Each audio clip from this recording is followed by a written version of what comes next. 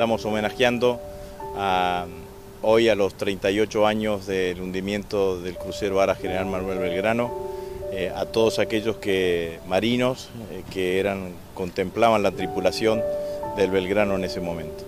Como decimos eh, permanentemente, Malvinas representa muchísimas cosas para el conjunto de los argentinos, es un sentimiento, pero por sobre todas las cosas, para el Ministerio de Defensa, para las Fuerzas Armadas, se simboliza en coraje, patriotismo y soberanía. Eso es lo que venimos a reconocer hoy acá.